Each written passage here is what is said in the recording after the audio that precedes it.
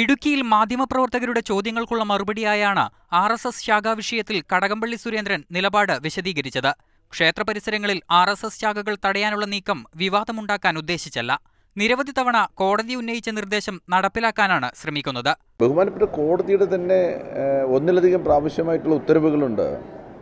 അത് തിരുവിതാംകൂർ ദേവസ്വം ബോർഡിനുമായി ബന്ധപ്പെട്ടുകൊണ്ടാണ് ആ ഉത്തരവെന്ന് പുറത്തിറങ്ങിയതെങ്കിലും അത് ഈ കേരളത്തിലെ എല്ലാ അമ്പലങ്ങൾക്കും ബാധകമായിട്ടുള്ള കാര്യമാണ്. ക്ഷേത്രങ്ങൾ ശാന്തിക്കും സമാധാനത്തിനും വേണ്ടിയുള്ള ഇടമാണ്. അവിടെ കുറുവടിയും ആയുധങ്ങളും ഉപയോഗിച്ചുള്ള അഭ്യാസ പ്രകടനങ്ങൾ അനുവദിക്കില്ല. ആർ എസ് എസിന്റെ മാത്രമല്ല ഒരു സംഘടനയുടെയും പ്രവർത്തനങ്ങൾ ക്ഷേത്രഭൂമിയിൽ നടക്കാൻ പാടുള്ളതല്ല. ശാഖ നടത്താൻ ആർ എസ് എസ് സ്വന്തമായി സ്ഥലം കണ്ടെത്തണം. അമ്പലങ്ങൾ പരിപാവനമായിട്ടുള്ള ശാന്തിയുടെയും സമാധാനത്തിന്റെയും സ്ഥലമാണ്. അവിടെയൊന്നും ആയുധ പരിശീലനവും പാടില്ല അനാവശ്യമായിട്ടുള്ള ഡ്രില്ലും പാടില്ല. ഓരോ സംഘടനയ്ക്കും അതിനുള്ള സ്ഥലമുണ്ടല്ലോ. അവരവിടെ പോയി ചെയ്തോട്ടെ. ദേവസ്വം ബോർഡ് നിയമനങ്ങൾ പി എസ് സിക്ക് വിടുന്ന കാര്യം അടുത്ത നിയമസഭാ സമ്മേളനത്തിൽ ബില്ലായി അവതരിപ്പിക്കുമെന്നും കടകംപള്ളി പറഞ്ഞു. മാതൃഭൂമി ന്യൂസ് ഇടുക്കി.